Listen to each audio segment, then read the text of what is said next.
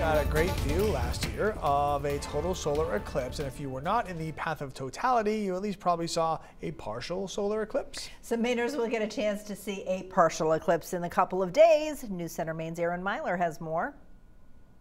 This Saturday, March 29th, set your alarms early because you'll want to catch a celestial sunrise event.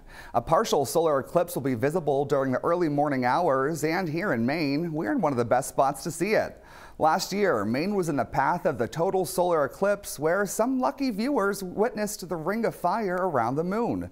This time, we'll experience a partial eclipse, meaning the moon will once again pass between the Earth and the sun, but it will only partially block the sun's light. As the eclipse unfolds, the sun will take on a crescent shape, and since the sun will be close to the horizon, it'll look like two horns rising from the east. Now, before sunrise, the eclipse will already be underway, so even before the sun officially rises at 6.27 a.m., you'll be able to see the moon begin to obscure part of the sun.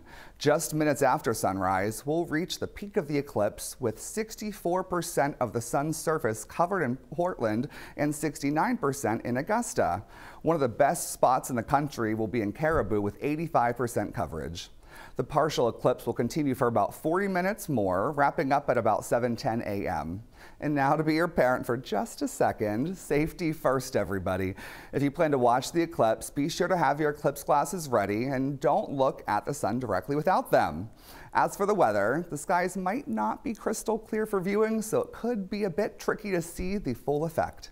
In the studio, meteorologist Aaron Myler, News Center, Maine.